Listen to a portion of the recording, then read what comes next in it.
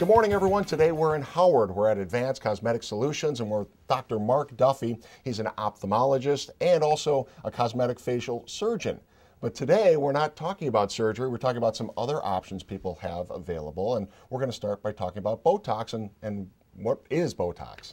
Uh, Botox has become kind of a generic term, uh, like Coke or Xerox, I think, but uh, it uh, is a purified protein that we can use to treat uh, overactive muscles with and relax muscles and get some very nice results. Now, when people hear Botox, I think a lot of people think immediately wrinkles, and they, and they can help cure or eliminate wrinkles.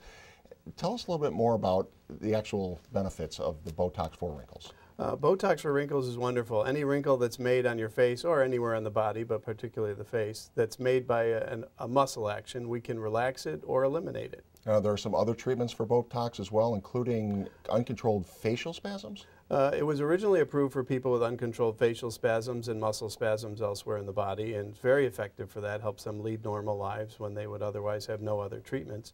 It also works very well for overactive sweating, and recently been approved for chronic intractable migraine headaches. And how does that help the migraines? It uh, gives most people about a four-month interval of significantly reduced frequency and severity of migraines, and some people actually get complete relief for that period. Now, four months for the migraines. How often for, say, the, the sweating or the wrinkles, how often are we talking about Botox treatments for those? Sweating, interestingly, lasts a little bit longer, typically six to nine months for people with true overactive sweating.